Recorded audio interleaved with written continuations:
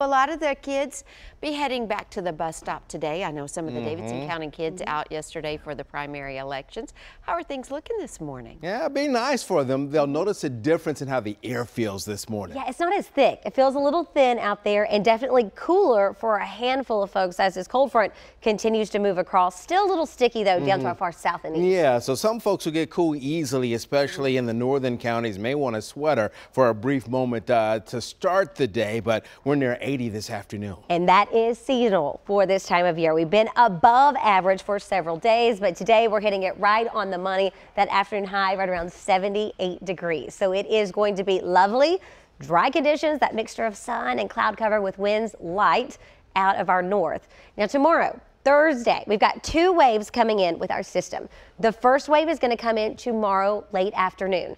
The second wave will then move through overnight Thursday into Friday. Some of those storms could potentially be on the stronger side. We're not looking at a widespread severe event, but the timing of this obviously isn't ideal.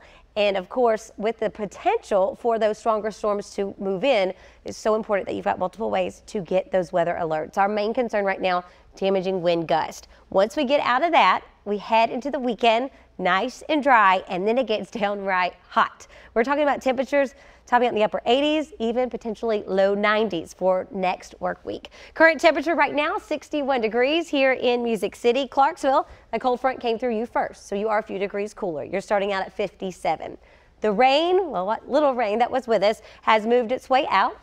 The clouds will follow suit, and we, of course, will continue to have those winds nice and light out of our north as we make our way throughout the day. When you've got northerly wind, that is a drier air moving in. So our dew points are slowly going to tick down as well, making it nice, comfortable. Temperatures right now upper 50s to our north and west, with the exception of Murray, you're at 50 right on the money. Heading your way just off to our east, where we are still in those 60s.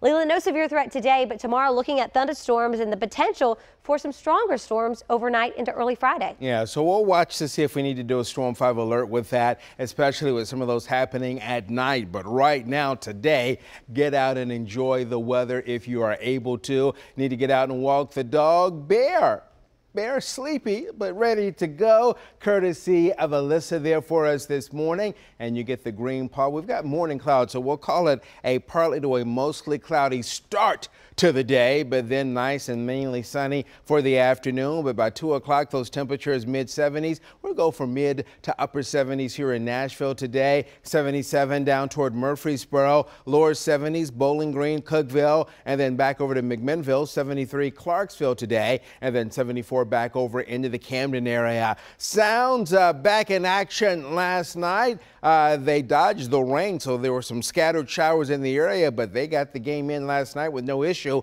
Uh, weather will be great for them tonight. 73, nice, pleasant night over at First Horizon. Meanwhile, need to do a little yard work. Uh, green light today, but then for tomorrow and Friday, we'll start to show in the uh, chances for some showers moving in. So we're going to take exact track and just jump ahead now to Thursday.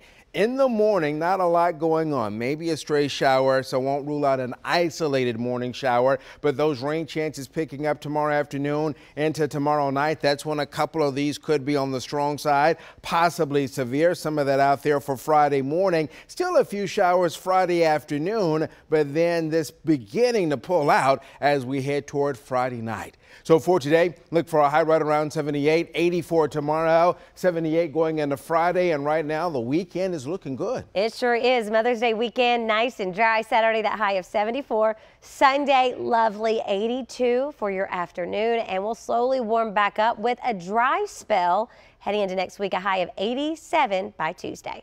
So we'll keep you up to date on that, but right now, not bad this morning.